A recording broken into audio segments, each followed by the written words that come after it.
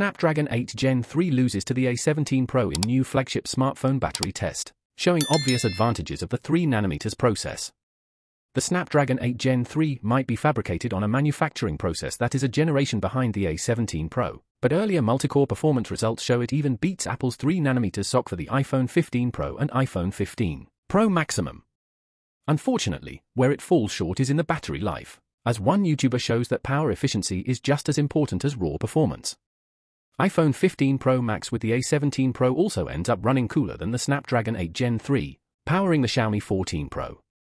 The channel TechDroider tested out several flagships in the battery life test, but two models that we wanted to pay close attention to were the iPhone 15 Pro Max and the Xiaomi 14 Pro, both armed with the best-in-class mobile chipsets.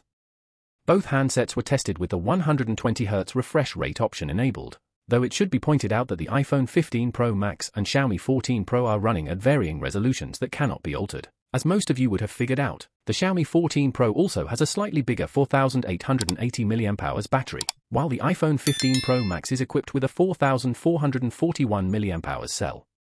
Despite this difference, Apple's top-tier flagship is the longest-lasting device out of the six tested, with a time of 11 hours and 54 minutes, securing first position while also running cooler at 44.2 degrees Celsius. In second place, we have none other than the Snapdragon 8 Gen 3 powered Xiaomi 14 Pro, which lasted for 10 hours and 24 minutes. This year's Galaxy S23 Ultra, featuring the Snapdragon 8 Gen 2 and its 5000 mAh battery, managed to close the gap with the Snapdragon 8 Gen 3 with a time of 10 hours and 5 minutes, showing that Qualcomm's chipsets are as efficient as ever, but not as quite as the A17 Pro.